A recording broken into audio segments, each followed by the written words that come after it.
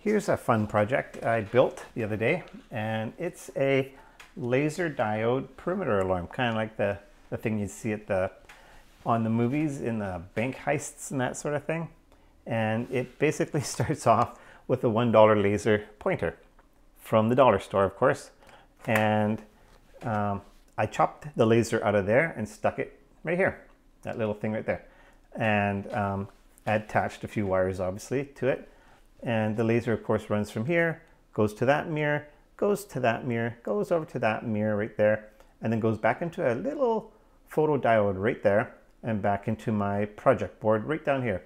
And this project board has a PIC microcontroller. I believe it's a 1612 and actually a 12F 1612 as well as there's um, oh there's a big big capacitor on there trying to filter out the the noise and um, four batteries and a switch and a resistor. I tried to make it as few parts as possible so there's only a handful of parts right there. What you'll notice though is I've covered up this here um, buzzer with a little sticker and it came with this with the buzzer but it's so loud it's actually an 85 decibel buzzer and the reason why I chose this, chose this chip is because it can drive up to 100 milliamps on 5 volts uh, and I thought I'd test that so the uh, the laser pointer is about 40 milliamps and that little buzzer is like 70 milliamps so I've attached them onto this and it actually works quite well with this little tiny microcontroller.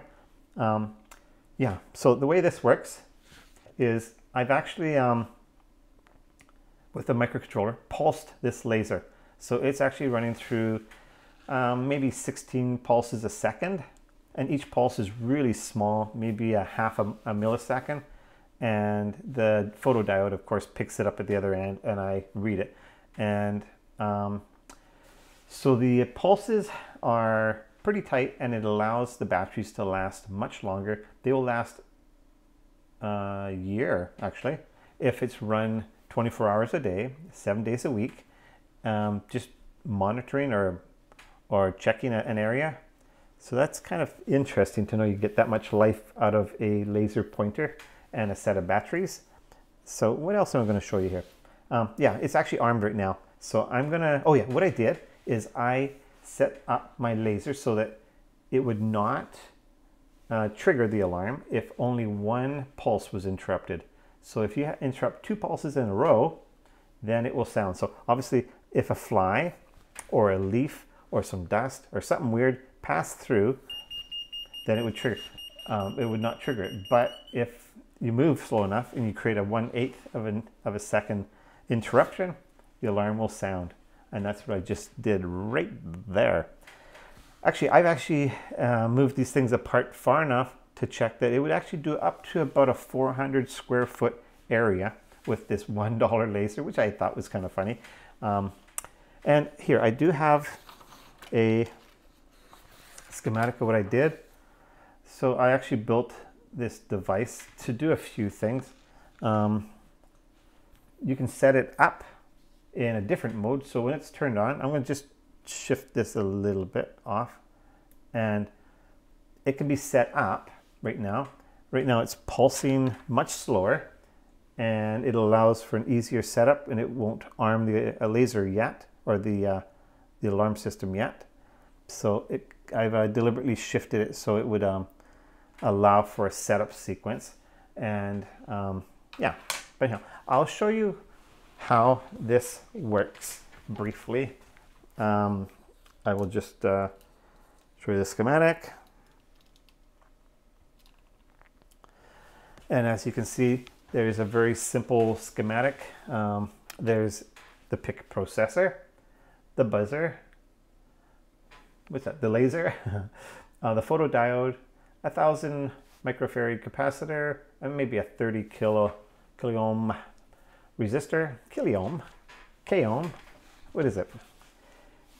Um, and what else? Oh yeah, so um, yeah, it'll last for a year on batteries running all day and all night, just because I pulse the laser so quickly. And here, I'll see if I can turn this over. Not that you can see much, it's not that interesting, it's pretty boring right there. So that's the project right there. Actually, it's running right now, just in setup mode.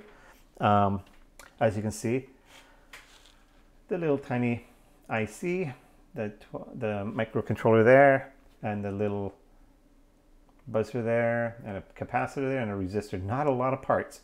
And of course, a little switch just so I can turn my project on and off. And of course, the laser right there. And there's the photodiode just over here. I put a little um, shrink tube on it so it would control the light better.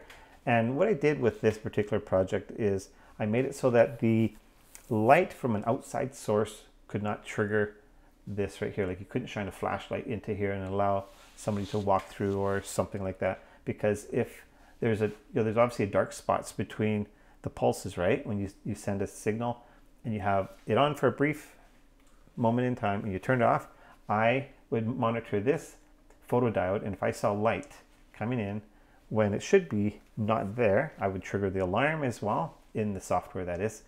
As well, um, what else did I do? Uh, I think that's about it. Like I said, it's 62 bytes of code, super, super simple. And I'll show you what the code looks like if you feel like building something like this. You can change it if you want. The alarm only goes on for a minute instead of going on for, you know, hours and hours and hours. But yeah, I can control that quite easily. Uh, this is the code I have right here. Um, 62 bytes, is that right? It starts from about here on line 9. It goes all the way down to um,